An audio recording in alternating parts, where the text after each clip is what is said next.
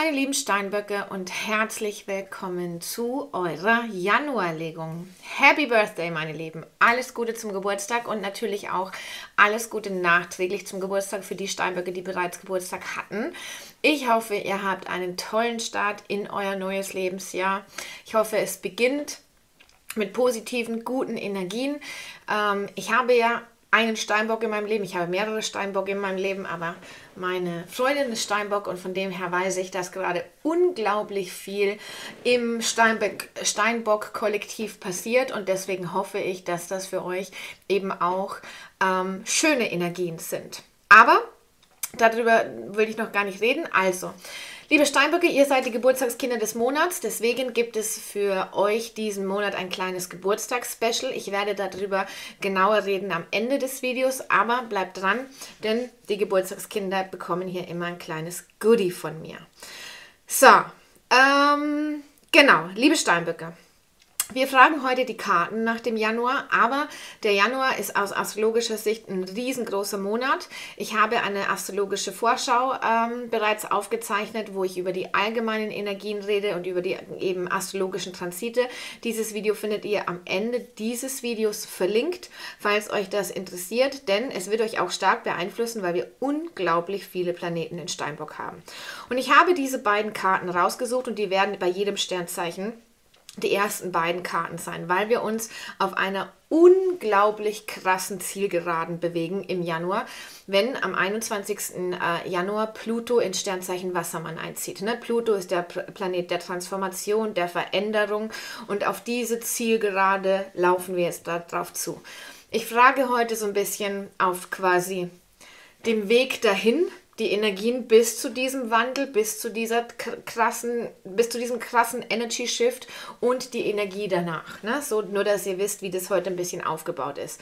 Trotzdem gilt es zu beachten, dass das hier eine allgemeine Legung ist. Das heißt, sie kann auf dich zutreffen, muss es aber nicht tun. Es ist ganz wichtig, dass du hier in Resonanz gehst. Das heißt, dass du dich hier wirklich angesprochen fühlst. Dass du das Gefühl hast, hey, ich rede genau zu dir. Das ist meine Geschichte, das ist meine Energie. Das sind gute Impulse, das bestätigt bestätigt mich in dem, was ich schon selber wahrgenommen habe. Wenn das alles mit dir passiert, wunderbar, dann nimm dir gerne mit, was dir hilfreich erscheint. Wenn du hier davor sitzt und dich einfach überhaupt nicht hier mit identifizieren kannst und dich nicht wiederfindest, schalt das Video aus, lass es an dir vorbeiziehen, denn dann ist es für einen anderen Steinbock bestimmt. Schau dir gerne die Legung zu deinem Aszendenten an, zu deinem Mondzeichen, Venus, Mondknoten, whatever. Wo auch immer es dich vielleicht hingezogen fühlt, äh, wo auch immer du dich vielleicht hingezogen fühlst, ähm, diese Botschaft könnte dann besser passen. So, gut, meine Lieben, beginnen wir. Ich weiß noch gar nicht, mit welchem Deck ich beginnen will. Ja, das hier. Okay, alles klar. Find Balance. Balance finden. Challenging Times, ja, ich glaube, also ähm, meine Steinböcke, so habe ich euch ja immer genannt. Ich weiß, dass ihr über eine richtig, richtig lange Zeit, ja, aber da, danke, dass ihr über Challenging Times, herausfordernde Zeiten, dass ihr über einen richtig langen Zeitraum möglicherweise 15 Jahre, sehr, sehr, sehr herausfordernde Zeiten hattet mit Pluto eben in Steinbock. Ähm, aber neuen Stäbe, rest and reconsider. Es ist an der Zeit, ne, sich davon zu distanzieren, Ruhe zu finden, das vielleicht nochmal Revue passieren zu lassen. Aber neuen Stäbe ist für mich so eine Schlussstrich-Energie und jetzt beginnt was Neues, das Ass der Münzen, ein, ein, ein völlig neues, ein, ein, ein völlig neues Leben, ein, ein Leben auf einem neuen Fundament, ein neuer Job, eine neue Beziehung, möglicherweise alles. Ne? So. Aber genau das nehme ich eben wahr für euch. Ne? Wenn wir, ich muss jetzt doch ganz kurz ein bisschen astrologischer werden. Oh, jetzt muss ich schon wieder fast niesen.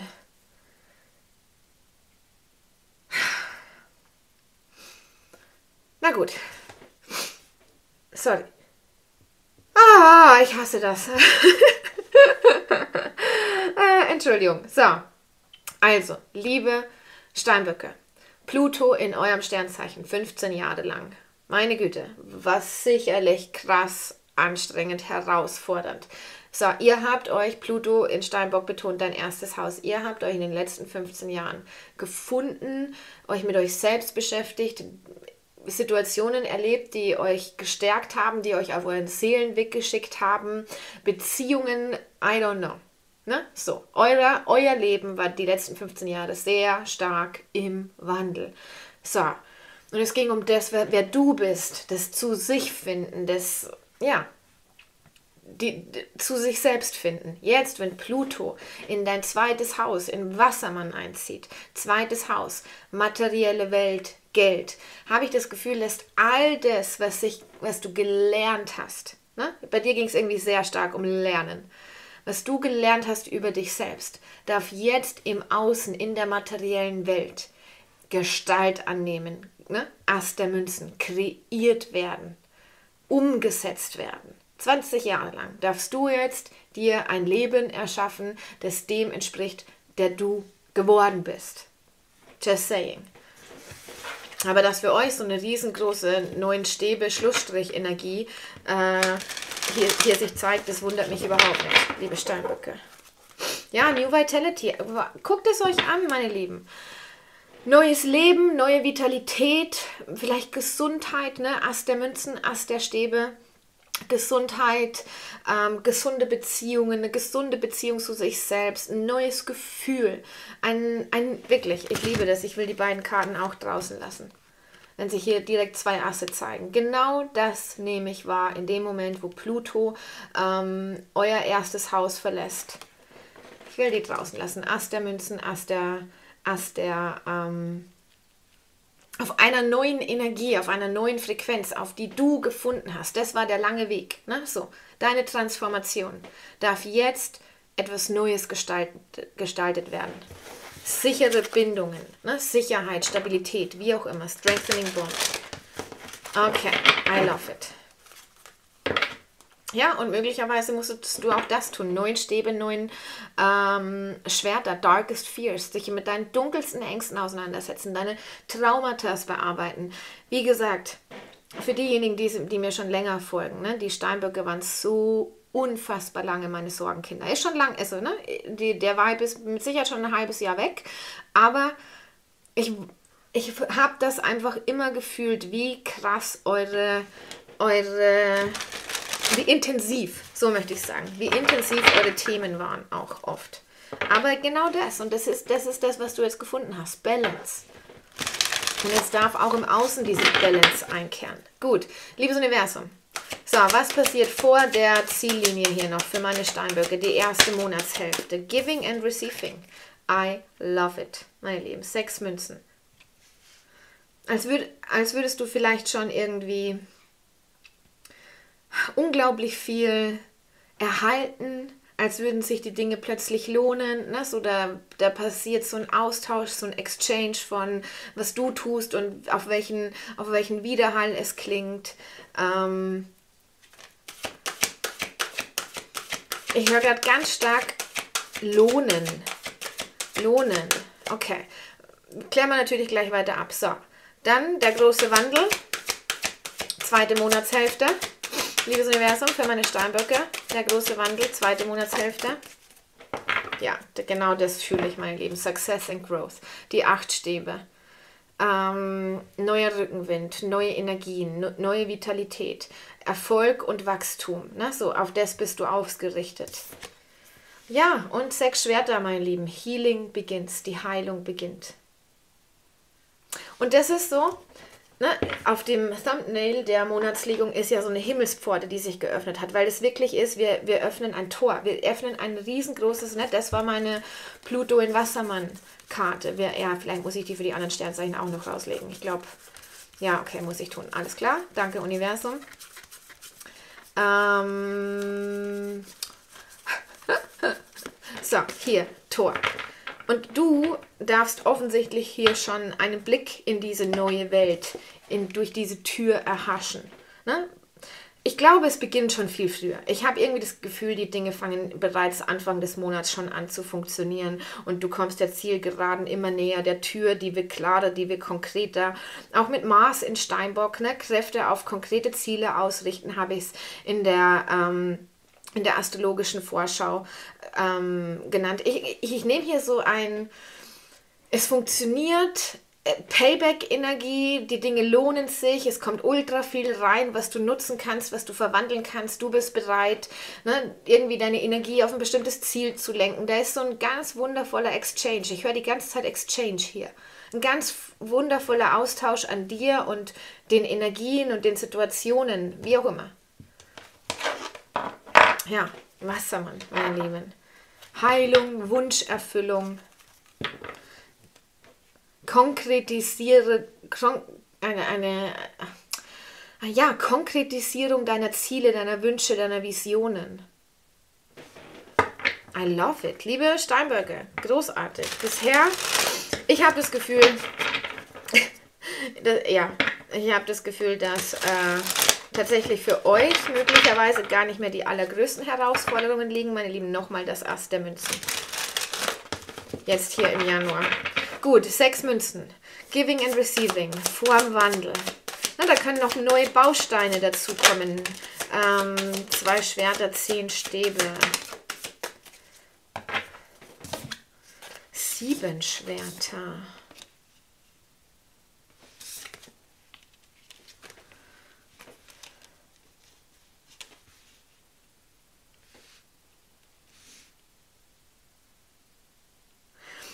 Ich hatte das, den gleichen Impuls, den ich zu diesen Karten bekomme, hatte ich in der Vollmondlegung. Ähm, geben und nehmen, ne, diese Hände, so.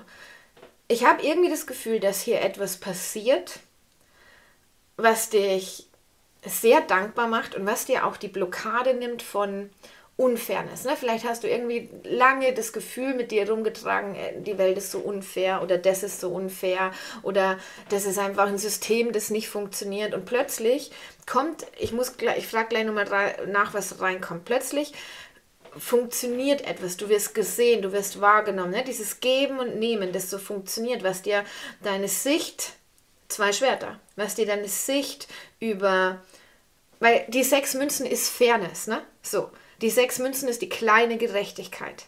Also du erhältst irgendetwas, was dir zeigt, doch, es war gerecht, es ist gerecht, die Welt ist gerecht, die Menschen sind gut. Ne? So was dir irgendwie das, was du vorher erlebt hast, wo du erkennen darfst, dass du das jetzt loslassen darfst. Ne? So, ähm, das Leben ist schwer. Hier steht Einfachheit. Ne? Ich weiß, gerade weil ihr möglicherweise auch so geprägt äh, wurdet von Schwierigkeiten und Herausforderungen in den letzten Jahren. Ähm, diese, diese Resilienz, die euch ja in die, in die Wiege gelegt wurde, ne? alles ist harte Arbeit, alles, für alles muss man sich abmühen. Ne? So, ich habe irgendwie das Gefühl, du darfst, es wird dir irgendwie hier gezeigt, dass, dass sich die Türen möglicherweise viel einfacher öffnen lassen jetzt oder dass sich möglicherweise ein, sehr einfach ähm, gerade Türen öffnen lassen. Ich will mal kurz wissen, was hier reinkommt, was dir diese Blockaden nimmt. Hier liegt irgendwas mit Fairness und Unfairness. Der König der Münzen, Loyalität, meine Lieben. Hier liegt der Hund. Loyalität. Also ich weiß nicht, wer diese Menschen sind oder wer dieser König der Münzen ist, Stierenergie. Ähm, aber es hat irgendwie, also gerade mit der starken Münzenergie, es wird dir im Außen präsentiert, es wird dir gezeigt, es funktioniert. Hier liegt irgendwie dieses, es funktioniert, dir begegnet Loyalität, dir, begegnet Stabilität, ähm, Ast der Kelche. Klar, kann auch Beziehung sein, ne, meine Lieben, ja, die Welt. Und nochmal Hierophant, interessant, also nochmal Stierenergie. Ähm, für dich tut sich definitiv diese Himmelspforte, dieser Weg auf. Ein langfristiger Weg, meine Lieben. Ein langfristiger Weg. Kann auch beruflich sein, ne? mit, äh, mit der Stierenergie. Ich habe keine Ahnung, in welche, von, welcher, von welchem Bereich deines Lebens wir begegnen. Aber was ich hier sehe, ist, dass du das fühlst. Du fühlst hier Loyalität und dein Herz hat eine ganz klare Botschaft. Ne, sie ist hier so, ich kann das abstreifen, ich kann das hinter mir lassen, ich bin offen. Der Weg, ne, so, der Weg ist offen und du bist, du bist auch wieder offen, habe ich das Gefühl. Du bist wieder offen. Ich meine, wenn wir hier von Beziehung und Partnerschaft sprechen, ne? Ast der Münzen, Ast der Kelche, Ast der Stäbe, dann kann das definitiv sein. Kann auch eine berufliche Partnerschaft sein. Dass irgendetwas dir den Glaube, Hierophant, den Glaube an das Gute, an Gerechtigkeit, an Fairness zurückbringt, an Loyalität, an Gemeinschaft, ne? Wassermann-Energie ist so super krass Gemeinschaft. Ähm, weil alles plötzlich sehr einfach und easy daherkommt liebe Steinböcke. Aber die Welt, ich liebe es, ich liebe es, die Welt für euch zu sehen, meine Lieben. Weil verabschiede dich. Verabschiede dich von den Prägungen, den Erfahrungen, dem eher steinigen Weg, den du hattest die letzten Jahre. Denn Einfachheit, es darf für dich so viel einfacher, fließender werden. Und du, ich glaube, dass du schon einen Blick auf diese neue Welt hast oder bekommst. Den König der Münzen nehme ich nicht als deine Energie wahr. Was ist, der, was ist die Healing Begins? Was ist der Blick auf diese Asterkelche, Asterstäbe? Ja, nochmal die sechs Schwerter. Das finde ich ja immer geil, ne? Wenn die, also sechs Schwerter klärt die sechs Schwerter ab. Ähm, Also da der Kerl hier kann die Liebe sein für euch, meine Lieben. Oder liebevolle Begegnungen. Oder generell das, vielleicht das Gute im Menschen. Oder du darfst, du, du, darfst die Welt wieder unter anderen Aspekten betrachten. Ne? Hier liegt Sicherheit, hier liegt Loyalität, hier liegt Unfairness, Lügen, whatever. Ne? So. Ich glaube, dass es, dass es jemanden gibt, vielleicht weißt du auch schon, von wem ich rede. Es gibt jemanden in deinem Leben, der dir ähm, wo, wo, dieser, wo dieser krasse Exchange, dieser krasse energetische Austausch ist, der alles, woran du vorher geglaubt hast, ne, so, keine Ahnung, sieben Schwerter, zwei Schwerter, einfach von dir gehen lässt. Ähm, so, nochmal die sechs Schwerter. Und nochmal das Ass der Stäbe. Ich nehme eine sehr beflügelte Energie wahr hier für dich. Ähm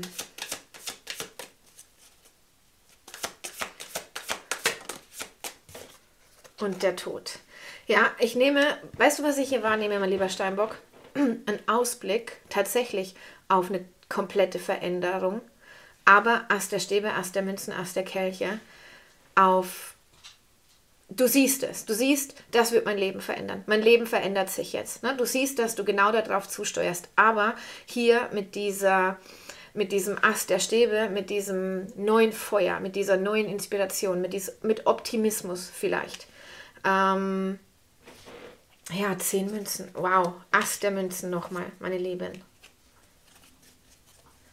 Sehr viele Asse hier. Ne? So. Und der Tod und die Welt. Ähm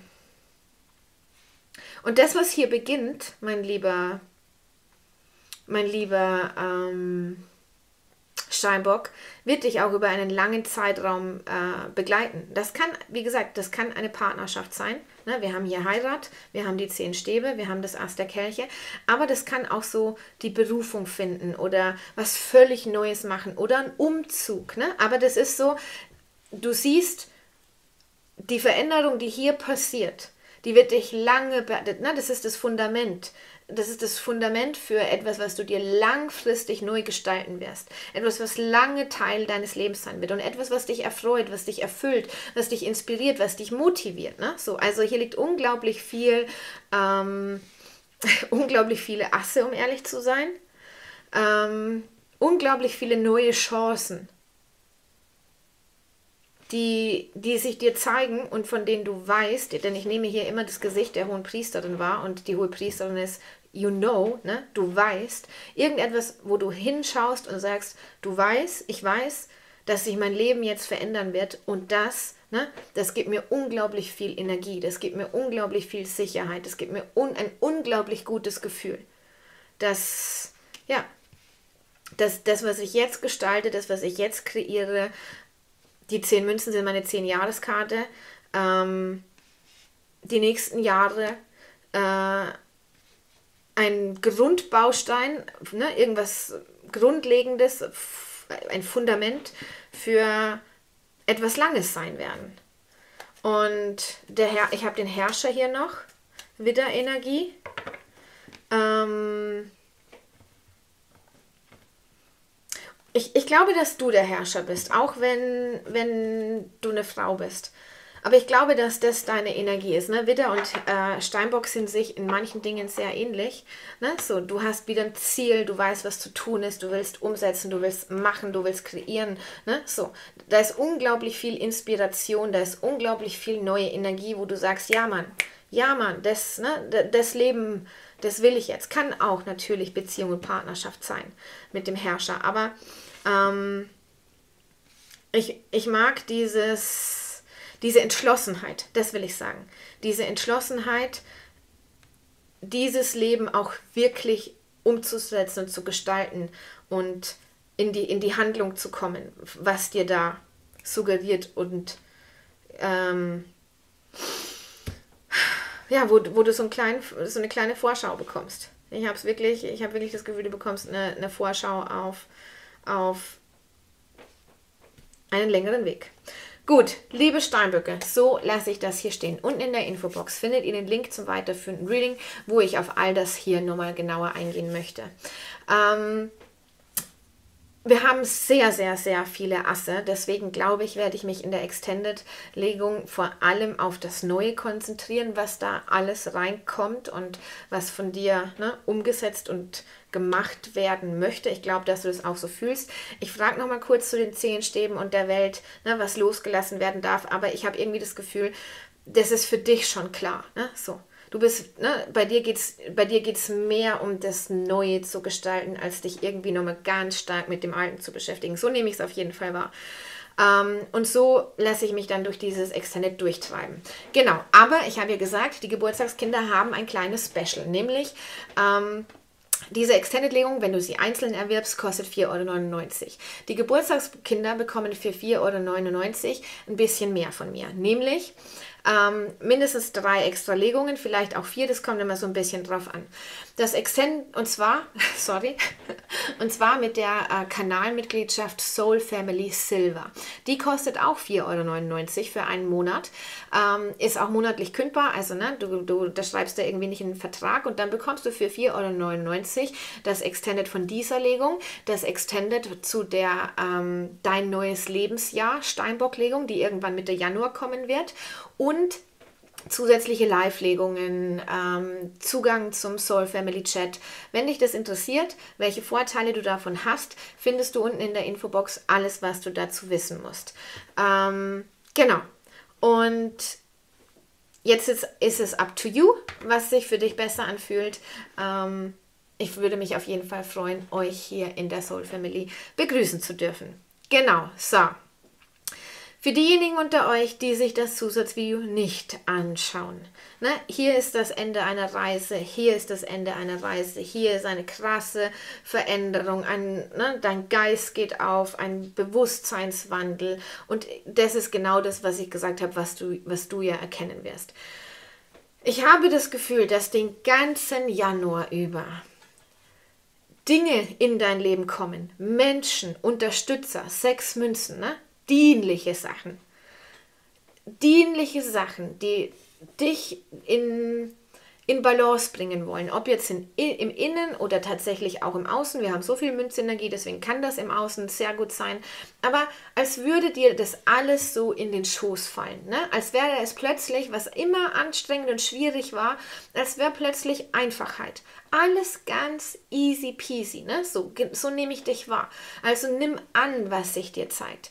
Die Dinge, die König der Münzen Sachen, die Personen, die in dein Leben kommen, sie verkörpern eine Energie von Loyalität, von Treue, von Sto Stabilität, von Beständigkeit. Das sind alles Dinge, die die Steinböcke lieben. Ne? So. Langfristig. Langfristig etwas aufbauen. Ne? So.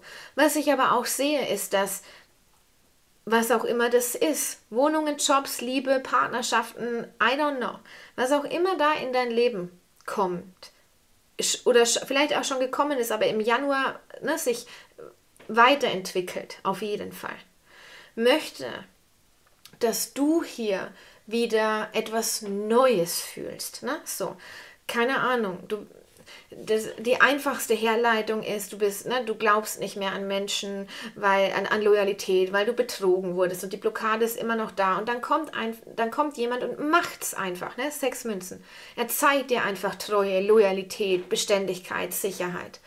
Und wenn das plötzlich etwas ist, was so wahrhaft in Erscheinung tritt, dass du es glauben kannst, habe ich das Gefühl, bringst du auch das Vertrauen wieder hinterher. Ne? Gerade, vielleicht hattest du, hast du große Trust-Issues und dann kommt da jemand, der sie dir einfach nimmt. Ne? So weil er mit der richtigen Energie, mit der richtigen Frequenz kommt und du merkst, hey, ich darf mich, ich darf mich einer neuen Energie öffnen, ich darf mich hier einlassen auf dieses neue Leben, auf diesen neuen Vibe, auf diese neue Reise, auf diese Idee, die ich habe, auf die Umsetzung meiner Träume, meiner Pläne. Ich darf mich einlassen. Das ist das Gefühl, das, ich habe das Gefühl, du fühlst es.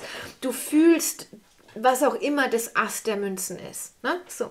Du fühlst, dass das das ist, was gestaltet werden möchte wie gesagt, Pluto, Wassermann 20 Jahre. Du fühlst wirklich dieses Big Chapter, das bei dir beginnt, egal in welchem Bereich. Und mein lieber, mein lieber Steinbock, ich glaube nicht, dass man euch das sagen muss, aber der Herrscher sagt mir, ja, fang an. Fang an zu handeln, zu gestalten, zu kreieren, umzusetzen. Denn was sich da für dich offensichtlich daraus erfüllen lässt oder entstehen wird, ist auf jeden Fall etwas, was längerfristig in deinem Leben bleiben wird. Genau, und so lasse ich das hier stehen. Ich wünsche euch einen wundervollen Geburtstag, vielen lieben Dank und vielleicht bis, bis gleich, ansonsten hoffentlich bis bald. Tschüss!